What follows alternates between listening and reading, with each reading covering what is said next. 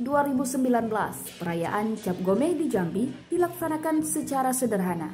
Namun masyarakat Tionghoa tetap antusias melaksanakan perayaan Cap Gomeh.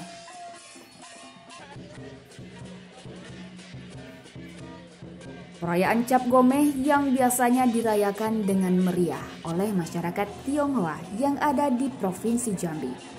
Berbeda dengan perayaan Cap Gomeh di Jambi pada tahun ini karena merupakan tahun politik. Kegiatan Cap Gomeh diisi dengan ritual sembayang dan doa bersama.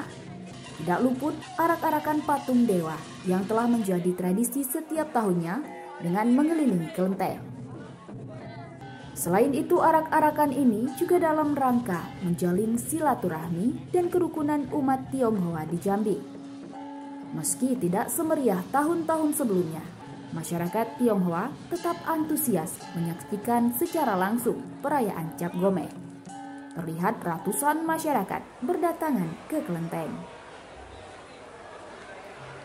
Wali Kota Jambi yang turut menghadiri perayaan Cap Gomeh di Kota Jambi juga mengatakan perayaan Cap Gomeh pada tahun 2019 ini dirayakan dengan sederhana, tidak seperti tahun-tahun sebelumnya.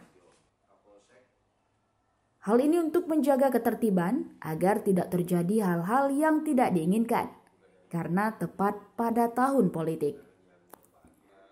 Diharapkan dengan perayaan Cap Gomeh pada tahun politik ini, kerukunan antar umat beragama semakin meningkat dan pelaksanaan pemilihan umum khususnya di Jambi dapat berjalan tertib dan lancar. Kami berada di Kelenteng Hokeng Kong eh, menghadiri undangan Festival Cap Gome yang dilaksanakan setiap tahun oleh umat Konghucu gabungan dari seluruh kelenteng di kota Jambi ini dan tadi ada uh, pawai juga yaitu uh, menandu ya, menandu dewanya untuk keliling-keliling di wilayah seputaran kelenteng ini. Kegiatan ini setiap tahun selalu dilaksanakan, namun tahun ini dibuat sesederhana mungkin untuk menghindari hal-hal yang tidak diinginkan. Nah mudah-mudahan kegiatan ini terus berlangsung setiap tahun karena ini merupakan perayaan hari besar keagamaan dan kami pemerintah beserta kepolisian, TNI juga akan siap untuk mengamankan, menjaga ketertiban dan menjaga kelancaran kegiatan-kegiatan. Jambi, Agustin Tribrata TV.